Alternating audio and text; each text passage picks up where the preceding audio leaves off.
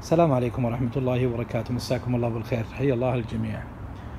الآن تقريبا عمر النباتات من وضع البذرة تقريبا لهم شهر ويومين. آه، فيهم منهم طلع بعد خمس أيام ومنهم طلع بعد ثمانية أيام ومنهم طلع بعد عشر أيام وخمسة عشر يوم. يعني بعض الشتلات عمرها الآن خمسة عشر يوم من خروج البادرات آه، من البذرة. آه، كل شيء تمام الحمد لله. عندي نموات وكل آه، كل شيء تمام. ما فيهم أي مشكلة إلا عندي الخيار آه، فيهم تقزم شوي. لكن إنه إن شاء الله في الفترة الجاية إن شاء الله بعد هذا الفيديو إن شاء الله راح أسوي طريقة إذا في حالة صار عندك تقزم للنبات أو توقف القمة النامية عن النمو. راح إن شاء الله أسوي هذا الفيديو. اليوم سويت هذا الفيديو على أساس إنه كثير من الشباب يقول لك وين أنت هالفترة راحت تقريبا لي سبع أيام ما نزلت فيديوهات؟ فقلت ننزل هذا الفيديو نشرح فيه آه، ما هي المحاليل المستخدمة. طبعا المحاليل المستخدمة هو رقم خمسة. اللي يعرف اللي يعرف المحاليل اللي سويتهن هو رقم خمسة آه، يعتبر آه، للنماء الخضري. هذا قسم الطماط. طماط طبعا فيه تقريبا حوالي ثمانية أو تسعة تقريبا أو سبعة تقريبا أنواع من أنواع الطماطم وهذا بعد كذلك. البزالية بدأ بالتزهير وهنا القرع والفلفل والباذنجان وهنا وهنا قسم الفاكهة وهذا التيم بدأ بالنموات الجديدة. كذلك ما شاء الله صحتهم زينة الطماطم هذا الكوسة الكوسة بدأ بالإنتاج إن شاء الله راح أسبوع راح إن شاء الله آكل من من الكوسة إن شاء الله. هذه الفراولة بدأت بالتزهير. الفراولة بدأت بالتزهير أغلبها بدأ بالتزهير.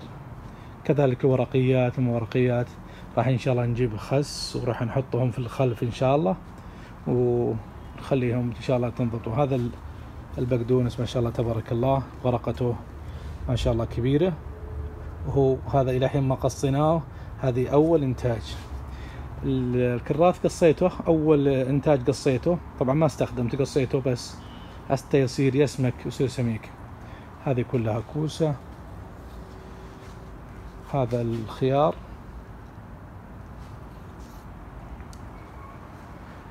طبعا هذا البامية. طبعا هذا كله قسم بامية إلى الأخير حاطن فيه طما حاطن فيه آه، جح اللي هو الرقي أو البطيخ.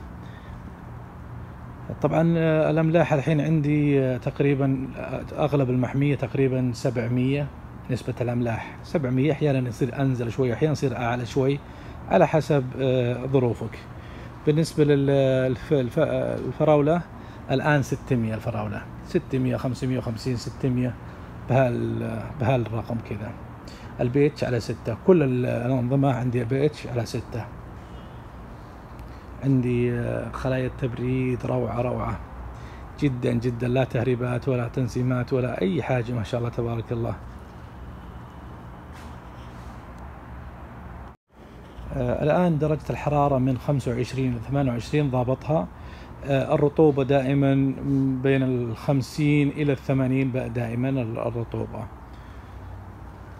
حالة النباتات ممتازة. بالنسبة للرش الحشري تقريبا آه، رشيت مرة واحدة رش حشري باكو 1 باكو 1 طبعا المادة الفعالة حقه matrine. كذلك رشيت مرة مبيد فطري. وكذلك آه، آه، بعد يعني طبعا أنا أرش بالرشاش جميع الأوراق وبعدين أجي عند الجذر عند الجذور في هذه المنطقة وأسلط الرشاش في آه، فوق الجذور على أساس إنه ينشط النبات إذا كان فيه تعفن جذور ولا حاجة ولا ينشط النبات بحيث إنه ينطلق زيادة. شوف ما شاء الله تبارك الله. إذا ضبطت الري شوف وش يسوي النبات. شوف النموات كيف.